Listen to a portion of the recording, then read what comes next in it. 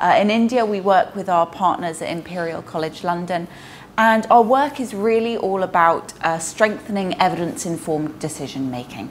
So, part of this focuses on health technology assessment and building capacity and awareness about the need for health technology assessment. Part of it is broader health system strengthening focused. So, in the beginning of the year, uh, in early February, the Minister of Health from Chhattisgarh state in India reached out to us.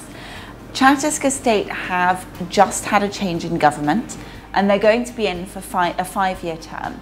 So the minister reached out to the Ministry of Health in Thailand and said that he wanted to learn about the Thai experience of UHC.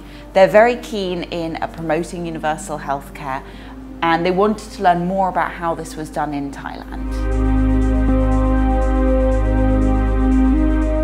So we tried to uh, have the delegates meet with as many people as possible that they could speak to about this topic.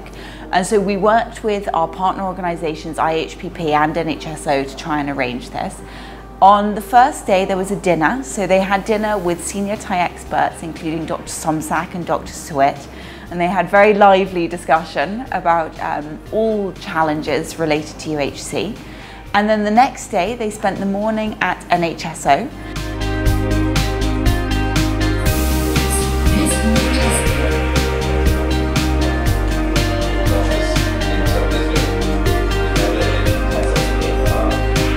And they heard from NHSO in more detail about the role of NHSO in managing the universal coverage scheme and the challenges that they faced in establishing that. They had a tour of the call centre at NHSO to learn about the grievance redressal mechanisms.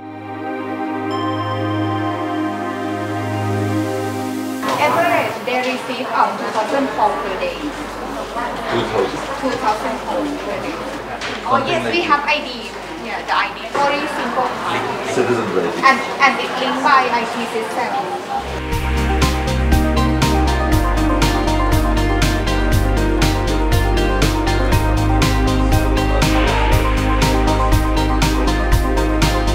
And then in the afternoon they came to HITAP and they learnt more about background of universal healthcare in Thailand and also more about HTA specifically and the work of HITAP in supporting universal care.